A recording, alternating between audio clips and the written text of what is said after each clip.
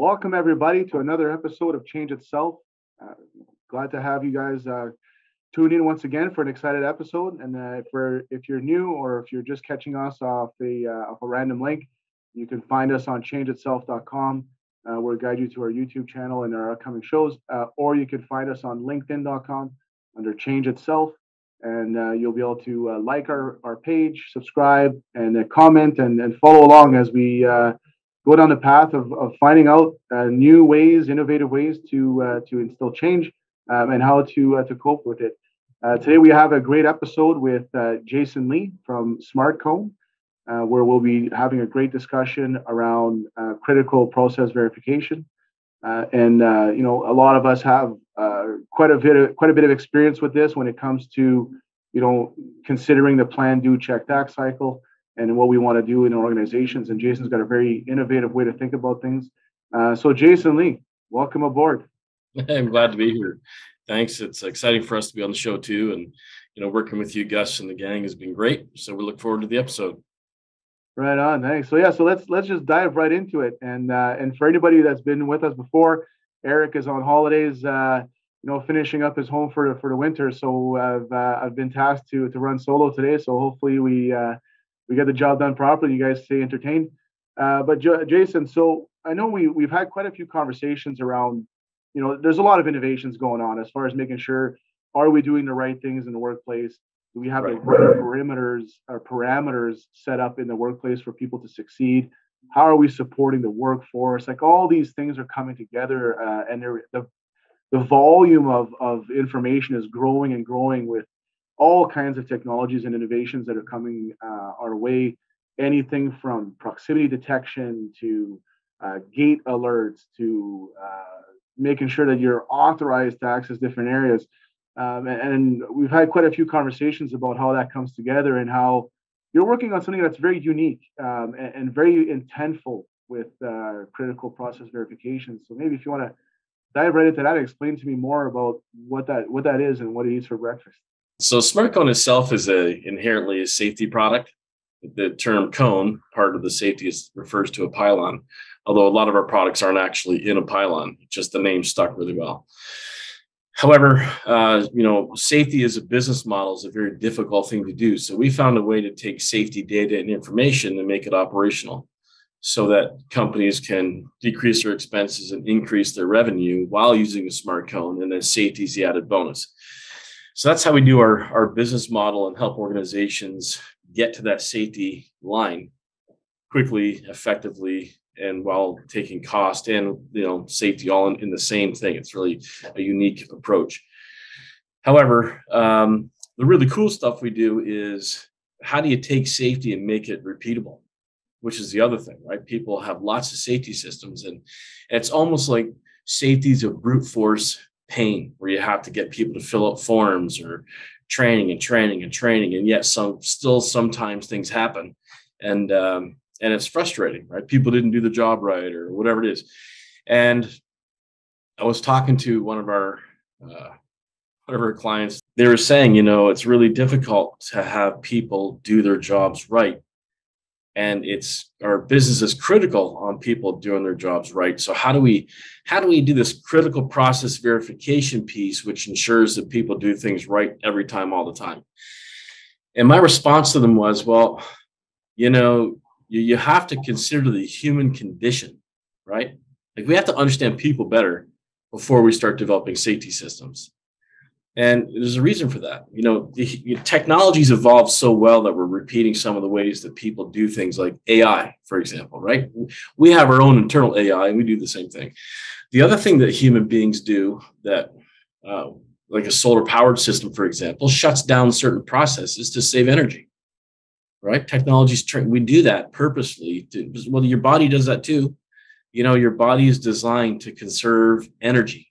So if you're on an eight hour shift doing the same thing over and over again, your internal intelligence will start finding muscle memory and things to do so you can start shutting down you know high processing tasks and all these things and become automatic which is where safety starts to fall apart because if you're not paying attention and you need to pay attention then you're you're sitting in a situation. It's a uh, uh, ticking time bomb.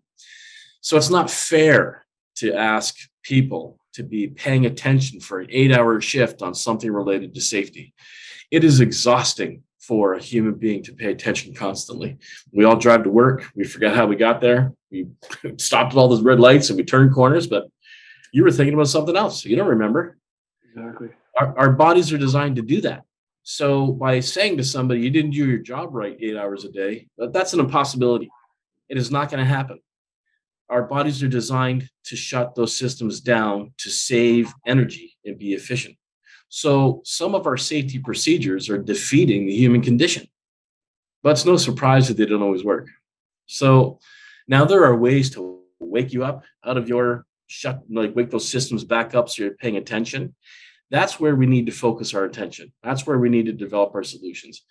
And every animal, by the way, like we're an animal, obviously, but every animal works the same way when it comes to communicating.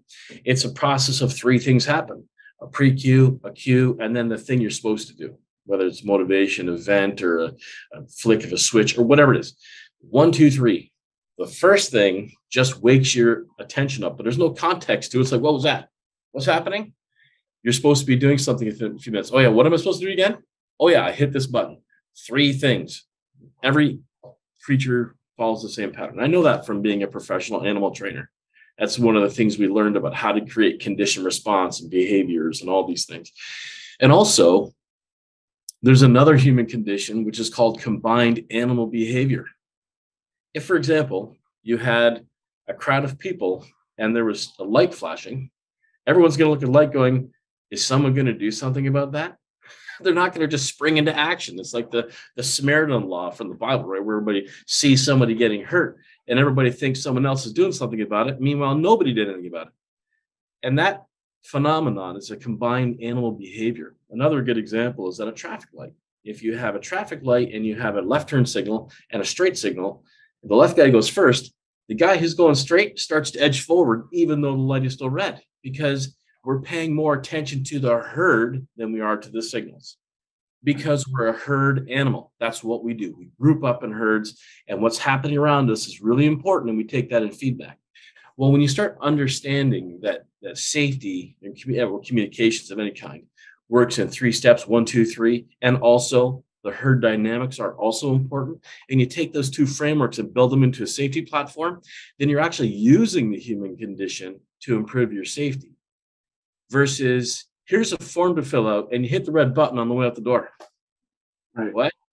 I walked in the door, forget to do the form, forget the red button. I thought I hit it. You know, today I put my keys over here, and when I did that, it screwed up my pattern, my muscle memory, and now I forgot something, and bingo, we have a safety incident. This, these, everyone has stories like that because it's the human condition. It doesn't mean they're bad people. It means our training is bad. It means our approach is bad. We are not considering how to make people safe. And that's the study we've been doing for about 30 years. So we took that same notion to our partnership with Disney, who also understands the human condition. You can imagine they do 10 million rides a day, and their safety stats are in the 0.0000001 mistakes across a global operating profitable business that everybody goes to and comes back well that was amazing okay well, there's 250,000 cast members working under safety programs constantly. And so, you know, they have figured that out.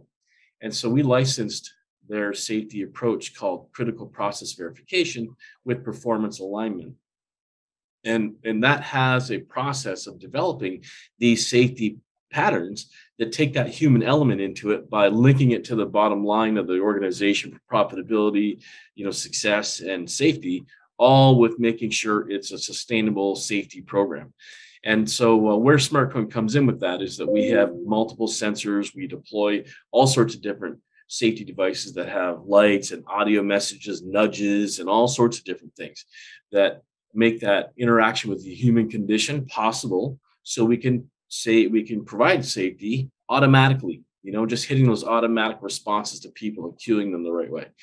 And that's the work that we do, and it's super exciting. Every worker deserves to go home safely at the end of the day. Book a demo with Sofvie to discover how their groundbreaking EHS management software empowers workers to proactively avoid hazards and how organizations like yours can cultivate a stronger work culture. Visit them at sofvie.com to learn more. Technica Mining is a premier underground mining and construction contractor. They stand for delivering quality project work on time and on budget through innovative thinking. Their excellent safety record, experienced workforce, and large equipment fleet will guarantee the timely completion of all your project needs. Trusted by the world's leading mining companies, Technica Mining has over 20 years of experience in mine construction, development, and production. Contact Technica Mining to take your next mining project to the next level. Visit them at technicamining.com. Change Itself is produced by Crownsmen, the voice of industry. Check out more, including The Crownsmen Show, Mining Now, The Building Energy Show, and Agriculture Now at crownsmen.com.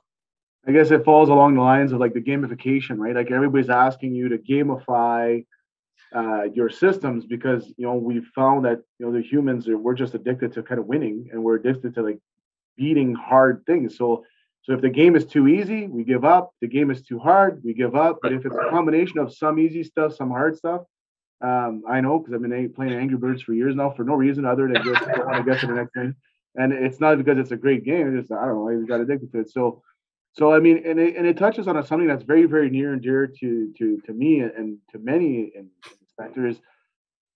A lot of times when you look at okay root cause analysis, right? And or or whatever methodology to your five whys, whatever you want to dive into, and you start looking at okay, why did this scenario occur? And I would tell you, if you start looking back at all the data of all the times that we've done this, is well, the worker forgot to do this, or the supervisor did not do this, or you know, employee. You look at key words that keep coming up, and we somehow always kind of gravitate into blaming a person for not right. following through and not delivering on something rather than taking a look at okay before the person had the opportunity to even perform there's a lot of steps that we're taking before that as far as the planification yep. the, uh, the risk assessment uh, making sure that all the right controls were in place making sure the right tools were in their hands making sure they had the right things like even down to now we put like anti-fatigue mats like even to go into train shows now and like I'm going to start bringing anti-fatigue mats because you know you you can you tend to wander around because it's uncomfortable to stick in one place, and then you miss an opportunity, right? Because you're right. all wandering around. Um, so it is a very interesting topic to touch on as far as how do you almost gamify the person. you know, I mean, with the technology, you're gamifying the person at this point to uh, to keep keep the lights on. And we understand things when we're building AI systems, for example, right? We uh, we look at how do we make the computer successful? And we know the limitations of the computer. So, but we don't make the computer wrong. We're like, well, the computer shuts down, so we got to keep it awake. You know, the computer needs these these objects to make it work, so we give them to them. We never say the computer didn't do its job. Nobody ever says that, but the outcome is the same. Instead, we focus on how do we feed it and how do we program it so it's going to work successfully every time. Yeah, exactly. And so, taking the exact same methodology into what we're talking about and setting people up for success and understanding the human condition and getting rid of the blame game. You know, if somebody didn't follow safety procedure, to me, that's the that's the company's problem. That is not the person who did his problem. It is you know look at the safety system. Look at how and how what did you do to ensure the success of the safety program by augmenting the human condition to make it so that it just happened every time all the time automatically? We don't think like that normally. We think like safety is a standard so let's do the minimum that we need to do to adhere to the standard because that's what we're forced to do and that's how we think about safety. That gets into the operational side you know, I can just imagine all the safety officials going, "This is awesome," but you know what? We don't have any budget to do that. We can't go AI safety. Like, where are we getting the money from? But that's true. I understand the condition, but that's where being innovative of having a multi uh, use case safety product. Because why don't we do asset tracking while we're providing safety? Why don't we coordinate other maintenance activities while we're doing safety? Why don't we build the safety element into every piece of technology that we have so that the safety piece is just a bonus and what we're really spending our money on is running our business profitably And that's that's exactly why you know, large organizations are coming to SmartCone because that's how we think. Safety should be the bonus that's inherently added to whatever business model we're driving and whatever technology we're doing to solve a problem to make money. And safety should be the free part. And so that's that's a change in, in shifting. It's a mental change in shifting, right? It's a culture now. Safety right. should be the culture, not the thing you're spending money on. We just need to understand that, right? We just need to get the message out. We need to show people how to do it, and then it'll just become part of our daily activities. Yeah, no, and it, and it touches on something that you know I I talk about all the time, and that's why probably we get along so well is we we we see things the same way, and and when I have you know these long conversations with organizations about how can we achieve compliance, right? And I would say, so why at this point do you think that compliance is the goal? Like compliance should never be the goal. Compliance should be the natural default based on your system. So you know you you design an ISO framework but you don't use it, or you design a health and safety framework and then people don't know where it lives. It's living somewhere on mm-hmm. a, on a shelf somewhere. So so then by default, because nobody knows and understands, you know the the basic fundamentals of how you said you were running your business, um, or how you're going to do work uh, with integrity, then compliance becomes a goal rather than the natural course of events. And uh, and the same thing with with our technology is that's what we're seeing now. Is now we're seeing reports of 150, 180, 200% compliant. Right. Right. Why? Because now they've got all of the tools and elements in proximity of their day-to-day work every minute of every day. That's right. And it, and you know compliance becomes a natural default uh, exactly rather than the goal. So it's something you can do by by going to that muscle memory and your internal system shut down because now it's an automatic thing and and that's exactly right you know i have kids and the kids have a cell phone and the kids are supposed to do their chores to pay for the cell phone and they really want the cell phone but they don't really want to do the job. And i'm like if you're not compliant you don't get the cell phone. But it's so hard for them to vacuum or whatever.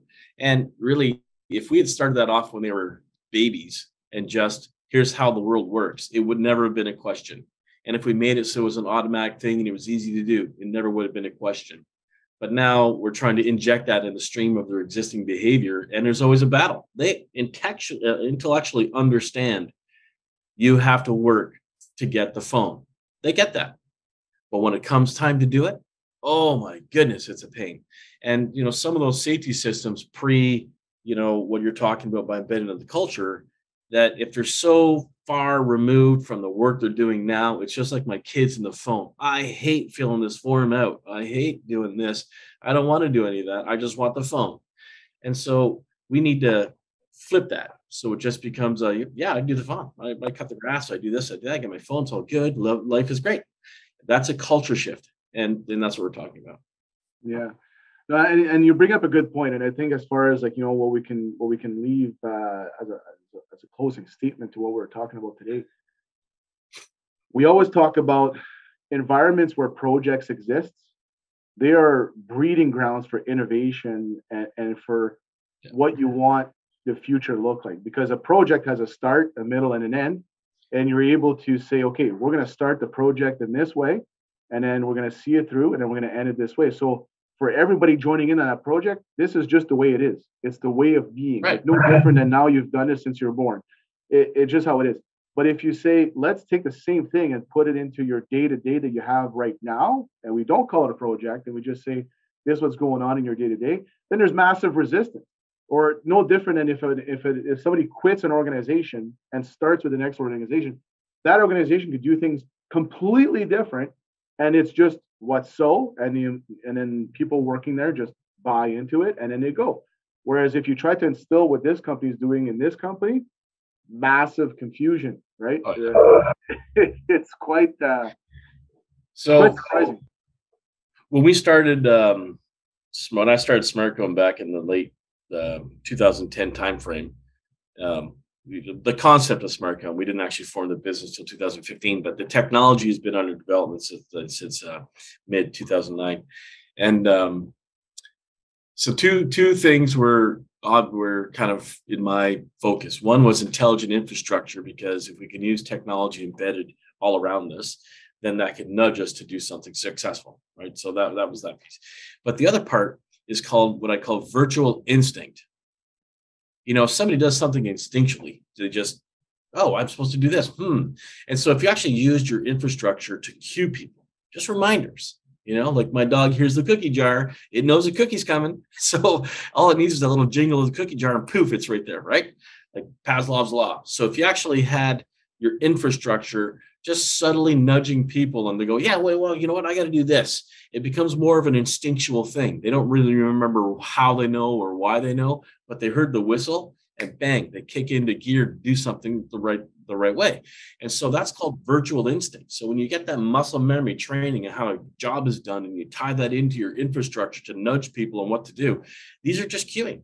And I, people love that by the way. It sounds like it sounds worse than it really is. People love the, having the certainty of a decision.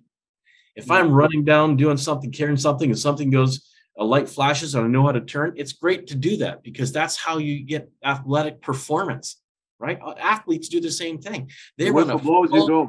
Yeah. yeah, exactly. They go full bore. They go full bore to win. They just want to win and get it done. They don't want to make the 15 decisions from here to there. That's that's a waste of time if they can get performance out of it and they can just enjoy their life, they can stay back and shut these systems off. They don't need constantly and be successful and feel good about it. Everybody wants that. So, you know, it's going to take some time to get there, but we know that's how it works and we have technology to do it. So now it's about mapping that out. And that's what critical process verification is all about. No, that's awesome. No, that's awesome. Uh, you know, thanks, thanks again for joining us today, Jason, and, and for the audience that you know they're tuning in and they're kind of catching this for the first time, they'll probably have to watch it a few times because it, it is it is it is a massive shift. Um, how do they get a hold of you? How do they reach you, and and how do they extend the conversation? You can go to uh, www.thesmartcone.com and just send us an email. There's also a press release out there about critical process verification. So if they search that on Google, they'll find that on Google and then reach out. You'll see some videos and things on our website and we're always here to talk. And I love talking about it. So if anybody ever want to have a video call on it, yeah, I could talk for hours about it. so it is a lot of fun, right? It's something worth getting into. It is worth it. I mean, when you when you look at those videos, like you know, I, I don't know if you've seen that video of the, the lady that was uh, it was like an experiment where they had the beep in the waiting room. Oh yeah, no, I've seen right? it. So what they did is uh, they what they did is they put a couple people in there were actors, and there was a beep that was going on in the waiting room, and they just stood up, and there was a new person that came in, and she saw everybody stand up. So the first beep, she didn't stand up. Second beep, she was like, okay, I guess we stand up at the beep. And then she started, and then they started pulling away all the actors until she was the only one standing up to the beep. And then new people from the street came in, right? And then they're looking at her. Why is she standing up in the beep? Don't ask. They don't ask any questions. They don't even. She's like, I don't know. I'm just standing up. Next thing you know, she's got an entire room standing up with her at the beat for no reason at all. Other than combined animal behavior, baby. It's combined animal behavior. That's thanks for saying that. I got to watch that video. That's a yeah. perfect example of how you build safety in a company to make it repeatable. I'll uh, I'll send you the link, and Gowdy will will put the link in our in our video as well. Um, so it, again, thanks a lot for joining us today, Jason, and I'm sure everybody got a lot of uh, the conversation. And uh, until next time, we'll see everybody on the next episode. And don't forget to ring that bell, send us your comments, and uh, and let us know what you think. And we're looking forward to uh, producing more great content as we go forward.